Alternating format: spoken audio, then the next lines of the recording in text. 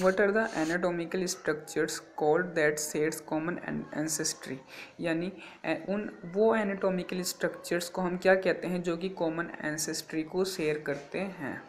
Option A है analogous structure option B है homologous structure option C है evolutionary structure option D है vestigial structures तो इसका जो सही उत्तर है क्वेश्चन नंबर ट्वेंटी एट का वो है option B homologous organs homologous structures जो है, वो कॉमन एंसेस्ट्री को शेयर करते हैं और या एनाटॉमिकल जो स्ट्रक्चर्स होते हैं, ये एक होमोलोगस स्ट्रक्चर होते हैं जो कि कॉमन एंसेस्ट्री को शेयर करते हैं। यानी जिन एनिमल्स जिन दो एनिमल्स के अंदर होमोलोगस ऑर्गन्स पाए जाते हैं, उनके जो एंसेस्टर्स थे, वो एक टाइम पे कॉमन ही थे। एक ही एंसेस्टर उनके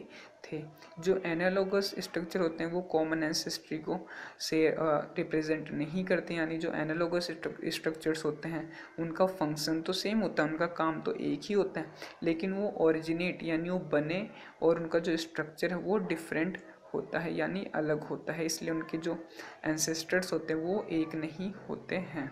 ऑप्शन सी है जो इवोल्यूशनरी स्ट्रक्चर्स होते हैं। वो वो स्ट्रक्चर्स होते हैं जो कि कभी इवोल्यूशन में इवोल्यूशन की स्टडी करने में हेल्प करते हैं। जैसे कि जो जो मैमल्स होते हैं, कई मैमल्स में पूछे होती हैं, कई मैमल्स में पूछे नहीं होती हैं तो वो भी एक इवोल्यूशनरी स्ट्रक्चर का एक अच्छा एग्ज़ाम्पल होता है। ऑप्शन डी है वेस्टिजियल स्ट्रक्चर्स वेस्टिजियल स्ट्रक्चर्स वो होते हैं जो कि प्रेजेंट टाइम जो ऑर्गेनिज्म है उसके किसी काम के नहीं होते हैं, लेकिन पास्ट में यानी हिस्ट्री में, यानी जो इतिहास में कभी उनके जो एंसेस्टर्स थे उनके अंदर वो बहुत काम के ऑर्गन्स थे। जैसे ह्यूमंस में जो है, वर्मी फॉर्म अपेंडिक्स होता है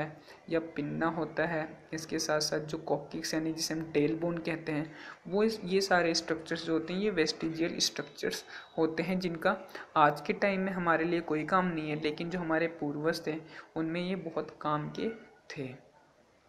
क्वेश्चन नंबर ट्वेंटी एट है, उसका सही उत्तर है ऑप्शन बी होमोलोगस स्ट्रक्चर्स जो होते हैं वो कॉमन एंसेस्ट्री को कॉमन एंसेस्ट्री को रिप्रेजेंट करते हैं।